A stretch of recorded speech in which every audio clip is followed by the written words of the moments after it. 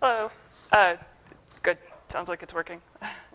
so uh, uh, the uh, you may all have known that I was working for Red Hat until January 7th. Uh, that's it was a wonder, wonderful time working there. I had a great time, but um, uh, I felt like the Ada, the Ada initiative was something I wanted to do even more than that. So when I left Red Hat, they took away my laptop. this is a, a, a, a close-up of a repair. My cat knocked my laptop off the, uh, the desk, and so we ended up having to do the, ooh, I bet this thing has a little light. No, okay. I, I had a friend of mine do uh, rivet the, the hinge back together. It's a little closer. He managed to do that without breaking it, which is really stunning and yeah, involves a lot of hammer work. So um, Unfortunately, I had to send that back home, and I really like my MacBook Air, but until uh, this morning around 11 a.m., it didn't have Linux on it. And I was going to give a live demo today. So uh, I'd like to give a little introduction uh, about how to install Linux on the MacBook Air, just because now I have all of this useless knowledge and I need to inflict it on somebody else. So uh, I figure you all have a high tolerance for boredom because you're in this talk. So suffer. So the, I did not shell out for the SuperDrive, which is apparently the only way you can boot a CD on the MacBook Air. Uh, uh, you can't boot from a USB key. I don't know why. I assume it's some sort of firmware thing. Apparently that you can do this now, but uh, I, don't have, I didn't have a Linux box because I was sitting in my hotel room. and I didn't have network access uh, once I did get uh, uh, the installer booting because the drivers didn't work. So So this is what I finally, there's a lot of many, many, many, many, many other steps involved here, including a lot of cussing, so, and giving up at 12.30 a.m. Anyway, so this is how I ended up doing it. Uh, so I created a separate partition, uh, went and got the, um, this is the, the network installer uh, image. It's, it's uh, supposed, you're supposed to put it on your USB stick and boot from that, but as I mentioned, we can't do that. Uh, I downloaded, so I feel a little guilty about this. I downloaded the 64-bit install CD uh, on the conference network. uh, I always I've always thought, gosh, what did all these, you know, why do people think they need to like download kernel trees whenever that at a, at a Linux conference? It's so rude and inconsiderate. Yeah, well, okay, I didn't have Linux on my machine I'm doing a Linux demo on. So uh, if, your if your network was really slow in Urbanest last night, I'm sorry. All right, so um, I then put the CD image on a USB key. Remember, I can't boot from it. Uh, so I did this thing I called frankenboot. so the, you can, uh, um, uh, you can, I could boot by getting this boot image on a partition, uh, but once it, it, starts up, it wants to boot from the network. Uh, uh, it wants to, sorry, it wants to finish the install through the network, which as I mentioned, you know, we don't have any. So I, if I had had a Linux machine, I could have created a bootable image out of the CD. I did not have a Linux machine. So uh, what I did is I just put in the, the, the um, uh, uh, uh syslinux configuration files and the initial RAM disk and the kernel image onto the USB key image. And then I put it in a Linux partition. And then I use rEFIt to boot it. So, OK, now I have an installer. Uh, uh, fortunately, it asked me where the install media is located. I, I, it's actually on SDB. Woohoo, right? Except uh, the wireless driver still doesn't work. And magically, I just figured out through the power of the internet that I needed to get this thing, uh, uh, some version of the Broadcom wireless drivers. anyway, so here we are. Uh, I think you probably came here for the easy kernel development with user mode Linux talk, unless you came here for the other talk that was canceled uh, and uh, replaced with my talk on Monday. So in case you think this is even more awful than usual, uh, I have some minor amount of excuse, although I probably would have waited till today to write the slides anyway. So that was a, that's all. Uh, installing Linux is like, okay, I did need it, but it was a really, really excellent way to procrastinate. So the cool thing about user mode Linux is that um, uh, you're just running a process on Linux. It, that, that's it. It's just like normal, hey, this is like a program that you're running. Whenever you compile uh, something, a C file, and you get, you know, and you run it, it's just a process. so really, kernel development is now user space development. Uh, I know there's, it, it, feels to me, I'm always trying to destroy the mystique of kernel development, like, oh, it's so hard. Uh, it, it's, okay, it sucks, it's hard, um, but it's not as hard as you think and it's not magic. And this really takes away, I think, a good chunk of the magic by saying that you can use wonderful things like GDB, yes. I tried to go find a quote about using GDB, something like, uh, I would rather poke my eyes out with, you know, seven razors dipped in lemon juice than use GDB, but I figured I could just make up my own, like that. yes, because the development environment on Linux is so incredibly awesome. Um, so I actually wrote up, was so annoyed with the process of getting UML running. Uh, UML is not the language, it's user mode Linux. Uh, but to me, that's what I think of when I see that. Uh, that I actually wrote up this web page a couple years ago um, online. You can look at it. Uh, uh, it that has uh, all this stuff on here. So if you want to go follow those instructions, you can go to that web page. Um, and I think it's like the first you know, UML tips or something like that will get you that on Google. So the part of why I wrote this page is that at the time, user mode Linux uh, uh, website had a very large amount of documentation. And a very large amount of that documentation, I think uh, nearly 99% of it was out of date. And there was a whole lot of stuff about how to get the latest patches to make user mode Linux work.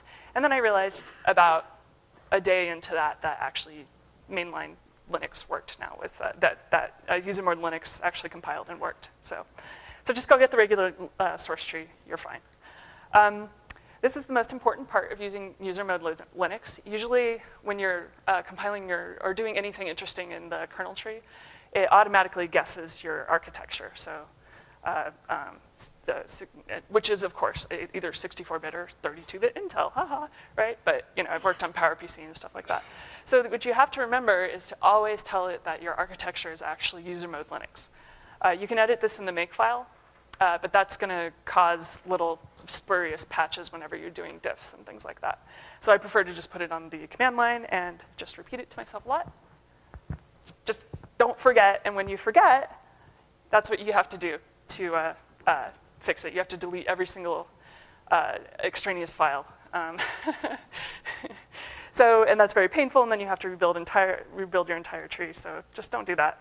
Um, one of the things I did to reduce the pain of this, of making that mistake, is I put my output, I, I build with the output going to a separate, uh, separate output tree.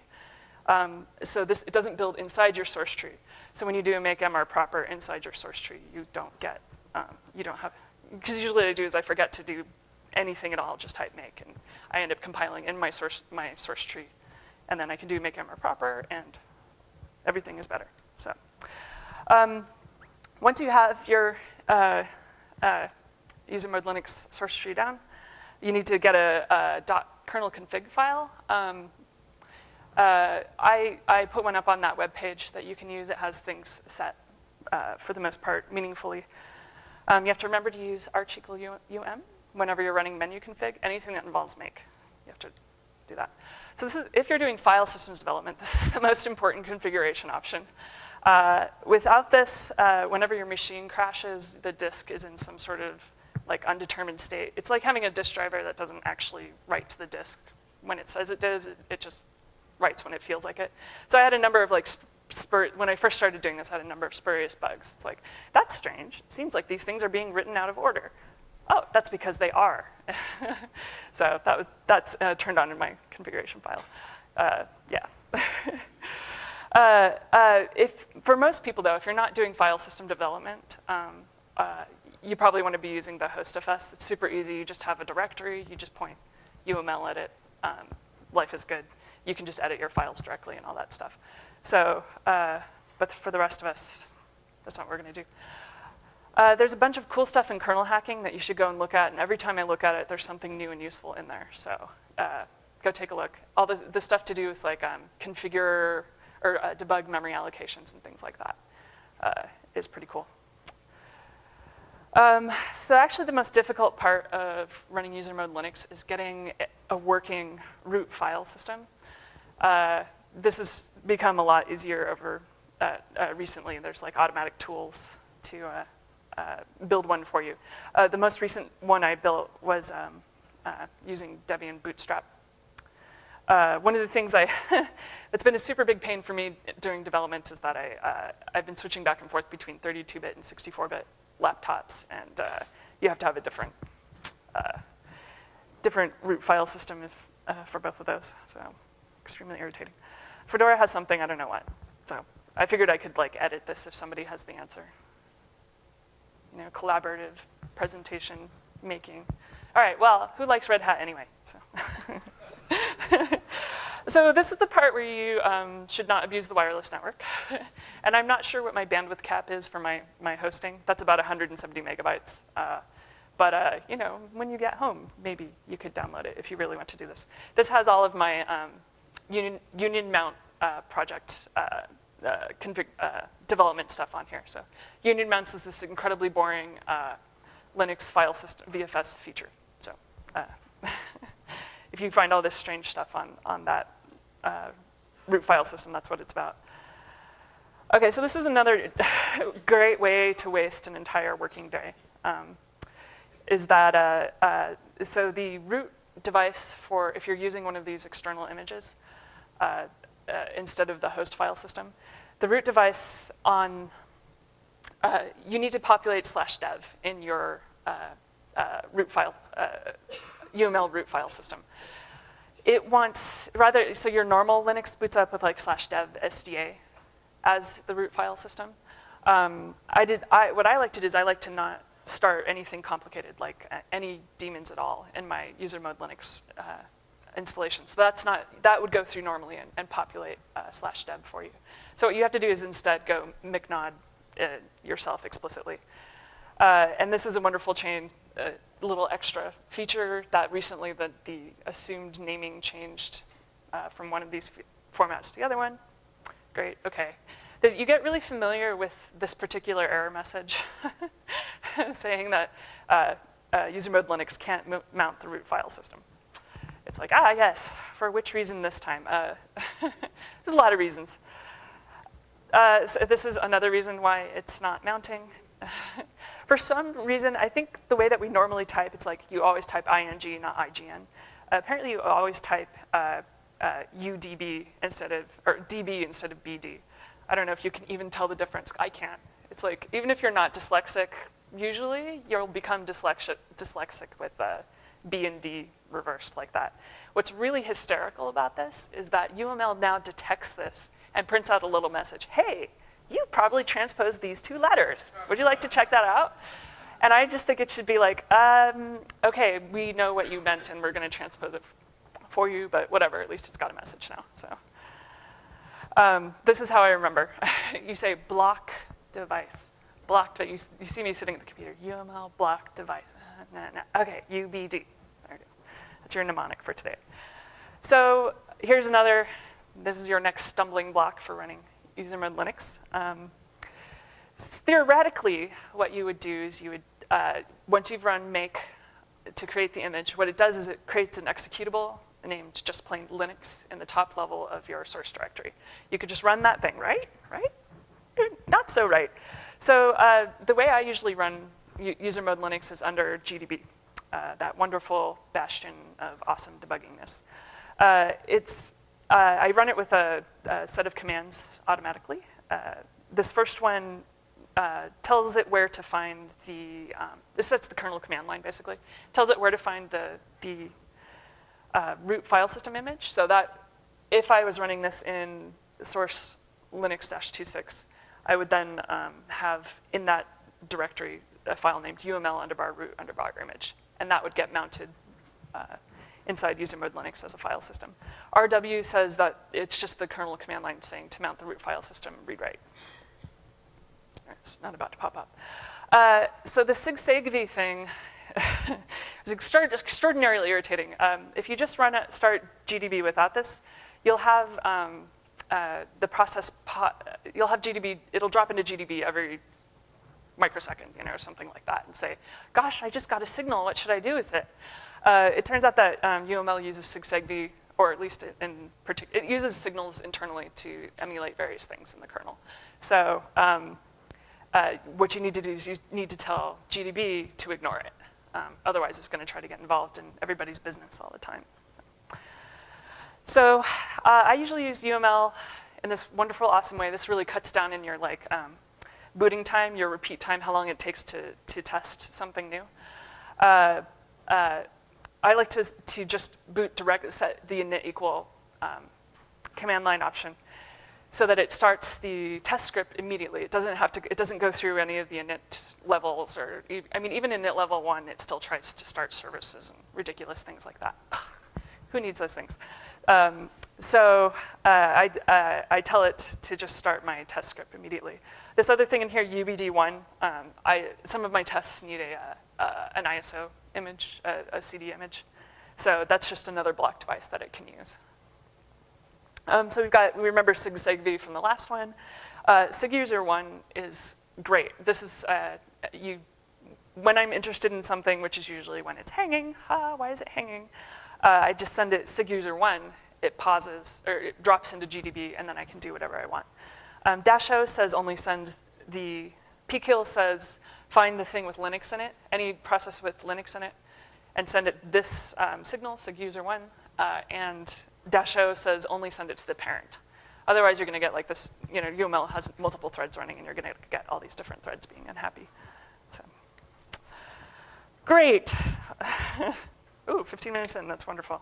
This talk's probably going to end early unless you have a lot of questions. So. All right, so this is how I spent most of the last year and a half. Not coming up on two years now. This is what I looked at every day. Okay.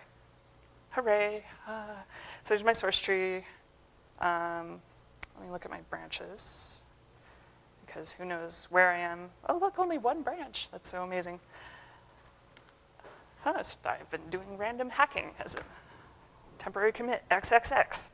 The ones before that are actually working. Implement union aware lset xattr. You know, uh. That's really awesome and fun. Cool, not really. um, all right, so let's compile. Um, this says, uh, uh, the, the dash C part is not necessary at this point, but uh, so I'll just take it out. That just says that's where the source li is living, so. Do, do, do, do. Oh, I'm running, I have Ccache installed too, so. Oh my gosh, it doesn't work. That never happens. Well, instead of debugging it here, I'm going to uh, check out, um, actually I'm gonna go ahead and go two back, two branches back. So currently, or two um, change sets back. Compile, compile, compile, compile. Usually at this point I get bored and I switch to the other window, but you know, it's not all that long. There we go, ta-da! Um, that's, and then uh, here's my GDB. Uh, this, the um, touchpad is way too sensitive on this, so that's going to be annoying. Run. There's a ton of debugging output on this. Ah, it doesn't work. Oh, that never happens. Okay. So this is the where um, this is the the script that actually gets executed when it starts. This isn't the init equal whatever script. Here's a little uh, tour of my source base. I mean, this I'm just, just trying to show you it's kernel development. You can write a whole bunch of scripts and never have to type anything and never have to reboot anything. And it's just awesome. Okay, run tests. Okay, so this says, this is the set of tests. This is, of course, some random, ridiculous, hacked together test suite, which is nonetheless um, in Git. Yay! 10th commit for moving laptop. Yes. Uh, I try not to check things in for, for good. Um, okay. Uh, this, is, this is the best part, I think. Uh, no need to shut down, just uh, Control D oh, ah, this happens a lot. It's going to complain. The, this is a stack trace um, init died. That's, it's very unhappy about that. But that's much better than actually having to shut down. And the be benefit of that is that it um, uh, does a dirty shutdown on your disk. So if you have some sort of bug in your file system, it's going to show up. Uh, where, where, whereas it wouldn't if you'd done a really nice shutdown. So that's my excuse. Really, I just never got it working. So. Oh, now it works. Oh, no, still doesn't work because this, is my life. so this is a this is like um, part of what I'd point out like to point out here is that it takes like 20 seconds for this to compile. Um, doing oh yes, I forgot to rerun. I have to rebuild my test root image. So that's I don't know three seconds, and then it boots. Um, and then actually getting to the tests is like another two seconds, right? My tests are incredibly long. so this, you can see it just, it just skipped the FS-specific tests. Um, this part takes forever, uh, but I'm used to that too, so what I usually end up doing is heading over here, compiling something. Uh, so we're gonna try this because I happen to know that this sort of works. Um, I can go ahead and do this because the magic of Unix is such that the old file image is going to stay there um, and continue running.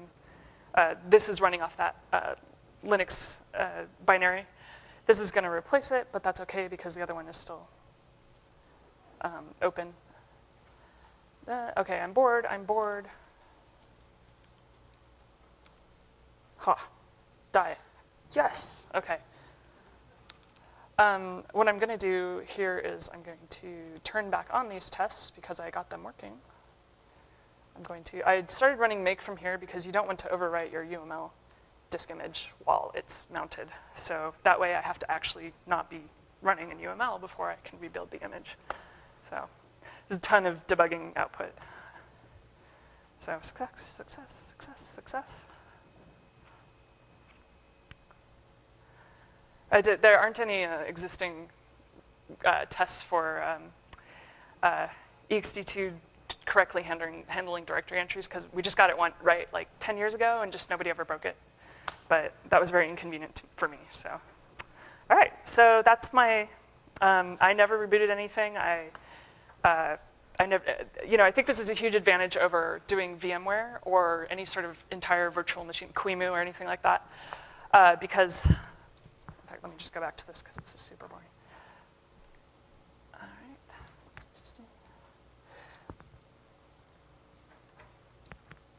There you go. Um, uh, if you, everyone knows how to do VMware and things like that, but the thing is, is that you don't need to emulate every hardware instruction in order to emulate enough to do a lot of interesting uh, development in Linux.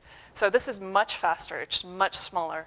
Um, the, uh, the, the, root image I have is, is way bigger than it needs to be. It's really around, uh, I don't know, 200 megabytes, something like that. Um, you don't have to set, reserve any memory. You don't, it's, it's just hugely that much easier and faster.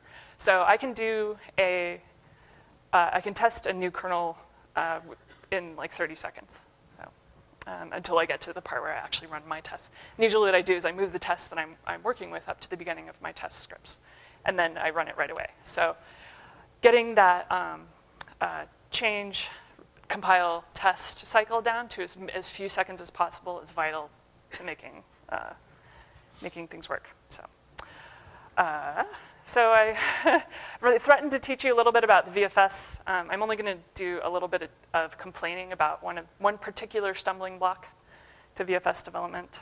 Um, uh, VFS is the virtual file system layer in Linux. It's what's on, what's on top of all of the file systems. So um, the first reason why there might not be very many people working on the VFS is that it's super, super boring, very, very boring, but also kind of complicated. And something I'm not going to put down on the slide is that you know perhaps some of the VFS de developers are a reason why you wouldn't want to work on the VFS. So I'm really bitchy some days. Um, no, uh, well, yes. but I think this is the real reason why nobody wants to work in the VFS. nameidata, I remember first encountering uh, oh, four years ago and, be, and thinking, what is this? I don't get it. And so I spent a few months being like, ah, I don't know, I don't know, and reading the documentation. And then I realized nobody else got it either. Nobody so struct name data, this is, this is, uh, is a collection of random pointers to stuff that you might need later on. It's like the world's biggest stupid, here, there's more. Check it out, there's a union. Open intent, nobody knows what open intent is. We just know that if you don't pass it around, sometimes you get kernel panics, you know. It's, uh, I, this is, it, the, I, I have You know, if I were to be locked up in prison for five years, what I would do is I would fix, uh, not, not referring to anyone in particular, uh, I would remove name data from the kernel, and that would get me, make me a lot of friends. So, like this thing right here, um, uh, path is like points, uh, the qstr last, right? This is something you need to like free at random points, and um, yeah, it's like an object-oriented programmer's nightmare. Okay, so excellent. We've got lots and lots and lots of time to be early. Uh, uh, I'm, uh, along with Mary Gardiner, uh, we're found, I'm founding a, uh, the Ada Initiative, which sort of sounds like a really cool uh, Angelina Jolie movie, which involves like spies running around and things like that, and you know, like the Bourne Conspiracy, the Ada Initiative. Yeah, cool. Unfortunately, there's no rappelling off buildings or high heels or anything like that. We're just getting more women involved in open source. Uh, and specifically, we want to get them involved in open source careers. Um, the, the best way to be involved in open source is to have somebody be paying you to do it. Uh, it's always best to be enjoying what you do and um, making a living at the same time. So, um, Mary Gardiner is kind enough to do this with me and save me. and the question we we, are working on this week uh, is figuring out, so there's been about 10 years of, of uh, uh, uh, women, uh, women, in open source activism of various sorts, done entirely on a volunteer basis. And Mary and I are, what's, what's our estimate of how many hours we've total spent? I don't know, over 10 years, 20 hours a week. A lot of, I don't know, that's many, many hours. 1,000, 10,000 probably. Uh, and all of that ends up, you know what, you'll, people will always say, yes, totally support you working on this thing, but when it comes to your annual review, somehow this never seems to get on there. So we're looking to see what we can do. There's a, a, bunch of projects that you just can't do unless you have someone who can concentrate on them. You know, either it just takes sustained effort or it just really sucks and you're not gonna do it unless you're getting paid to do it. It's a usual problem with volunteer work. Um, but we think that we could make a significant difference uh, if, if we had full-time people working on this. So what we're, here's a sample of the kind of projects we're thinking about doing. Uh, one of these is, is uh, First Patch Week.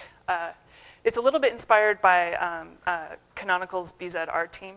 Uh, they have a concept of a patch pilot where, and this is the important part, each person spends one week out of five um, with their primary responsibility to uh, uh, see patches that go to the mailing list and work with the people who sent the patches to get them actually integrated. The important part is that that's their number one priority for that week, instead of being what you do after you get everything else done, which of course it's never done, so you never actually go and help people with their patches.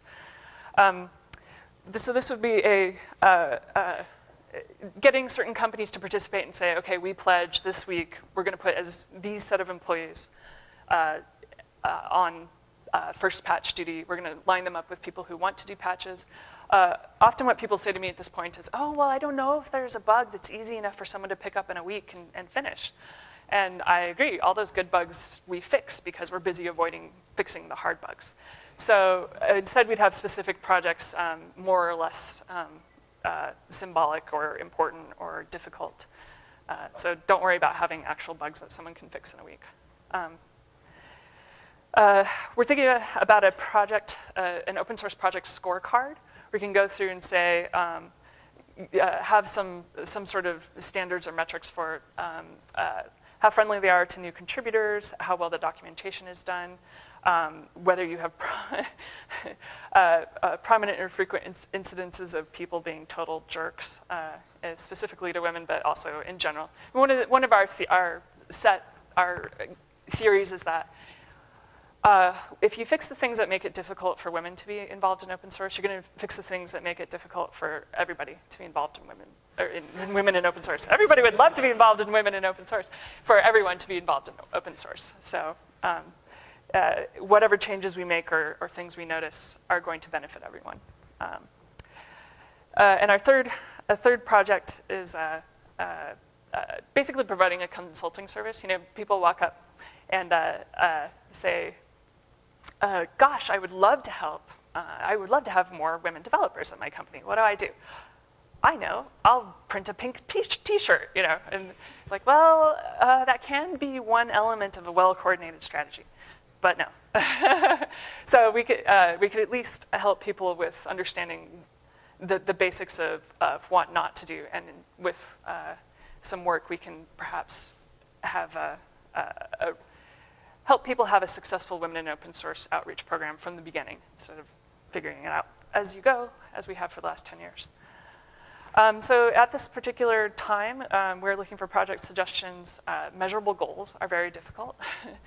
uh, there aren't any numbers right now. Probably one of our measurable goals is to simply create, uh, do an initial survey um, of the state of women in open source at this point, um, and fundraising contacts. So this is like not, hey, you should talk to Microsoft about getting money, but I know this person, specific person at the Microsoft open source office who controls the budget for um, trying to look like we don't totally want to destroy Linux, you know, that sort of thing. So um, that's, please email us. This will go to both Mary and I. So, um, and I think that's it. Questions?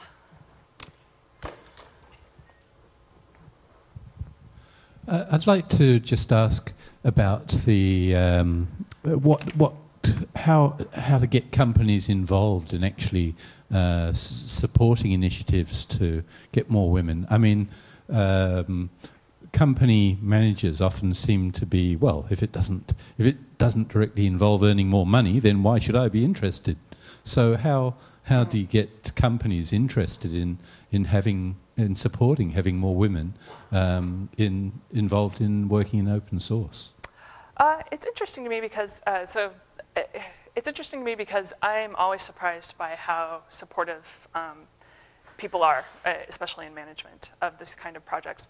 Uh, you, uh, a lot of companies and, and, managers seem pretty no nonsense and like they're not going to be interested in anything that doesn't directly result in revenue.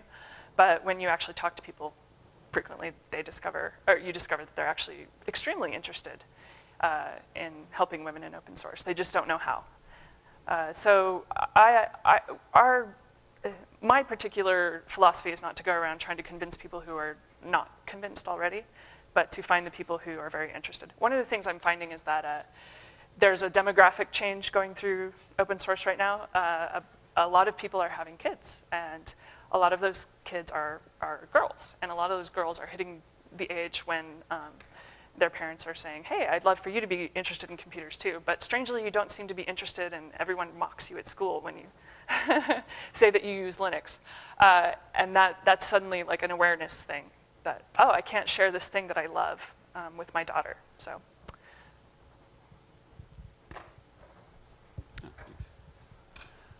Um, how much access to the hardware do you have with user mode Linux, i.e. can you use it for hardware device drivers? Uh, so user mode Linux, there's a, a, line that it's useful for kernel development above that line and not below that line. So basically user mode Linux emulates uh, uh, all devices. It just, it just uh, uses, um, you know, if, it, if, it's if, if it's faking up a disk, it just opens up a file underneath it on, on Linux. So if you want to do, um, there's actually Christoph Hellwig did, I think, two years ago, at LCA a talk on how to do PCI driver development in QEMU. So you'd, you'd want to go to a, a lower level of um, emulation for that. There's, yeah, you wouldn't, you wouldn't do any Ethernet driver work or anything like that in it. Mine's actually a bit of an addition to that one. Um, what about SMP? I realise, as per the talk a couple of days ago, we had, you know, SMP is pretty much the solved problem, but how does that work with UML? I have no idea, so I'm going to look at the configuration.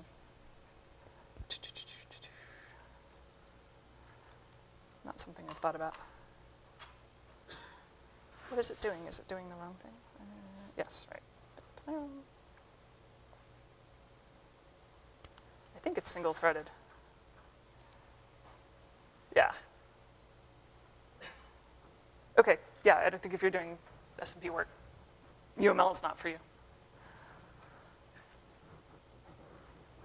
I've stunned them into silence. Excellent. do you if we go with the new person first? And then we'll do follow-up in a second. So. Queuing theory. um, the test cases uh, that you were running were just like in your init script. Is it, I guess, it's still possible to have an interactive session? So if you do want oh, to just have a shell and be doing stuff? Yeah, it ends in a shell. So Oh, so that shell is in the pretend Linux. Oh, sorry, in the user mode Linux. pretend Linux, I like that. Uh, la la la. Where do I do this? Um, I'm sorry. Sure. Uh, so this is this is drop into a shell so we can fiddle around. That's where I do it. Um, uh, ah, yes. Oh, oh, sorry. Sorry. I don't know why I did release. I have no idea. Is it? Oh yeah, three. Well, that uh, really three cores. That's very odd.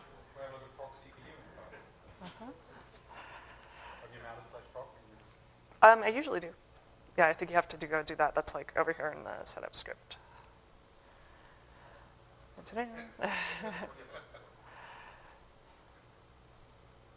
oh gosh, you know this is so funny, right? Right? You're like, you should always write comments, even if you think no one will ever see this. Well, okay. yeah, this this is exciting. Um, I had to do add a user for something, and of course I decided I would no, didn't want to ever do it twice. So. Is there a, a, a like a, a, bunch of test suites for for the kernel? I mean, uh, are you a are you a, brave lone ranger writing these scripts to uh, do these tests on the kernel, or have other people? Are there a bunch of other scripts somewhere that um, uh, can be used to test other aspects of the kernel's operation? There are uh, many scripts somewhere uh, which is a really, I think, excellent description of it. So um, generally, I'll, I'll, get to you in, in one sec. Okay. Oh, okay. Yeah, yeah. Go ahead. Well, I, I just want to give the general theory of kernel testing, which is that every so often someone says, we should really have a kernel test suite, and they create a kernel test suite, and then nobody adds tests to it, and then it dies. Um, and so there's multiple these, of these lying around. Right now, the current iteration of that for file systems is XFS tests. And what I really ought to do, but I have not done, of course, is move all of these tests into um, XFS tests and then just run that, uh, have this be part of it. But I haven't done this. Oh, the other the other one, of course, is LTP, the Linux Test Project. So that's got you know IBM and it's lots of people involved. It's it's very active. I don't think it goes specifically to a lot of file system tests, but um, it's a really good way of stressing the kernel. It you know it tries to call you know system calls with invalid argument combos and all that sort of stuff. So yeah, check out LTP yeah, there's like FS Fuzzer and things like that. I mean, there's a bunch of random stuff all over there, but it's the usual problem with test frameworks that, yeah, you know, they aren't quite right for you. It's just easier for you to write your own scripts, which have much better comments and run faster. So, all right, I think that's it. Thank you, everyone, for coming. no, we still have time for a oh. few more questions, and there's um, one up there. Sorry, I'm not going to let no, you no, off yet. Everyone be, oh, um, would you like to talk to us about um, the union and file system stuff you've been doing? Please. I would not particularly like to, but I can uh, do. Uh, do you have anything in mind, like current status, or? Uh, so um, Union Mounts is a, a, a, project to basically replace UnionFS and AUFS with something that could ever possibly be conceived of being merged into mainline. Uh, I, uh, it's, I did some new stuff which makes it possible, I think. I even applied for a patent on one of them, so um, for Red Hat, so it's open to GPL software and all that kind of stuff. Uh, so there's, it's, it's, it's new. If it fails, it'll fail in a new and different way than the previous efforts uh, in, uh, in this direction. Um, I've been working on it for about a year and a half. I took it over from uh, Jan Blunck, who worked on it for a couple of years, uh, that which is, you know, people have been working on this general, general problem for about 17 years. it's, I've done two, two in-person code reviews with Al Viro, which is, I mean, it's hard to tell that he ever doesn't detest the entire world, but he actually was really positive and had a good time uh, reviewing things. And it was stunning. I was just, I've never seen anyone who could pick up code so quickly and just be right all of the time. So, so he has looked at it, but um, you know, everybody's got their priorities, and I think the, uh, it's still just not up there. So where I am uh, right now on it is um, I'm doing an ext2 cleanup, as you can see over here, um, uh, with my, my branch.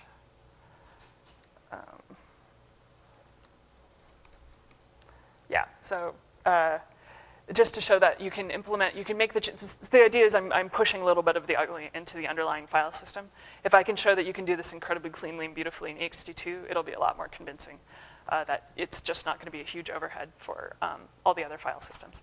So, uh, but I decided to stop working on that full time and start working on um, the Ada Initiative uh, because I feel it's more pressing and also because at this point what I really need to do is get Al Viro to actually uh, uh, take a look at it and start banging on it a little more. So, so I'm, it's in maintenance mode. It's like my 10% time project. Um, and people always bug me and ask me about it, but you know, I do what I can do, so. All right, great. Now really stunned into silence. Uh, one question um, about wom- you. women in Linux. Um. Stats from a UQ introductory programming course. There were 256 men and um, under 50 women. Um, most of them were reluctantly doing it because it's compulsory in the multimedia course. Um, wouldn't you need more women coming into university doing IT before you can get them developing in Linux? Uh, yes. So, um, what there has been one report on the number of, of women involved in uh, Linux in any you know measurable way, uh, and that comes out to somewhere between one percent and five percent. In the um, closed source computer programming uh, world in general, or all computer programming in general, that number is more like 20 to 30 percent. Uh, my particular feeling is that open source is far more influential and visible than closed source. You know, all the reasons that we love open source and are working on it instead of some private project that'll get canceled and our, all our code will be thrown away, instead of you know some project that you'll work on for several years and put your code on the internet and nobody will read. You know, it's a very very important difference. Uh, but I am perfectly happy to steal women from closed source at this point. Um, we're focusing on late college, early career women, um, simply because that's kind of what we remember, or we've always been at that stage, or I don't know, something like that.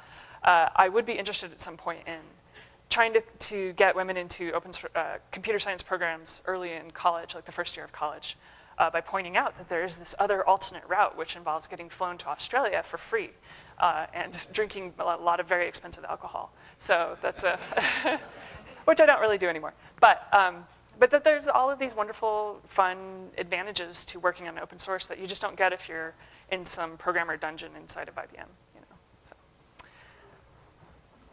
Unless there's any more questions, I think we could fit another one in.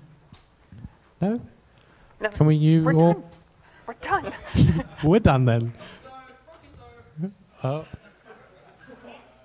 In the period in which you're waiting for a patch to be accepted into the kernel, you've decided to go off and solve a You know- 20 year old problem that's like almost intractable. It's an enormous boil the ocean style issue. You're talking about union mounts, right?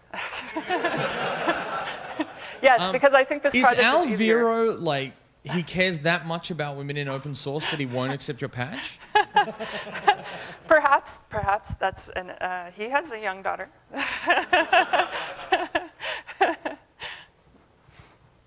yeah, yeah. I decided that this would be easier than getting any form of unioning file system actually merged into Linux. So, we'll see. Okay, we might put our hands together for our speaker.